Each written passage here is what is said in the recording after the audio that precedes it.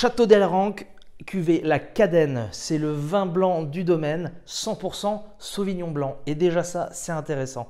Euh, ce qui est intéressant également, c'est la vinification, puisque euh, la fermentation et l'élevage se fait en barrique complètement. Un élevage sur lit qu'on va retrouver euh, dès qu'on met le nez dedans. Il y a des notes légèrement beurrées, un petit peu de noix, euh, avec euh, des notes de pommes aussi au nez. Et ça, c'est des marqueurs de cet élevage qui est là. Mais même s'il apporte de la rondeur après, dès que vous le mettez en bouche, vous êtes assez surpris par l'attaque assez franche que vous allez avoir, qui laisse place ensuite à cette rondeur, un volume en bouche, un petit peu de gras. Ensuite, en fin de bouche, vous revenez sur une fraîcheur minérale qui dure, qui dure, qui dure.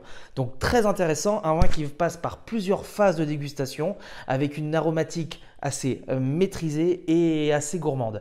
Euh, pour ça, en dégustation, je vous conseillerais bah, d'aller sur un fromage fondu. J'imagine euh, un gratin de crozet avec un reblochon par-dessus. Vous mettez du lard ou pas, ça ira très bien.